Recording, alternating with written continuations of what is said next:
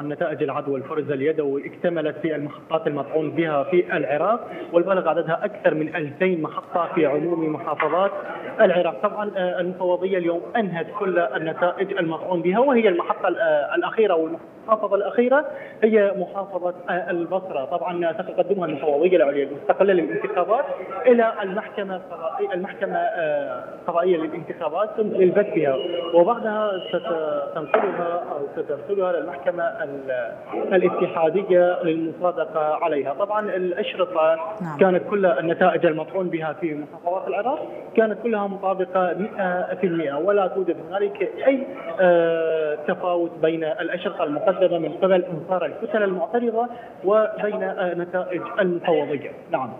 طيب هل هنالك وقت محدد آه، أو موعد لإعلان النتائج النهائية للطاعون؟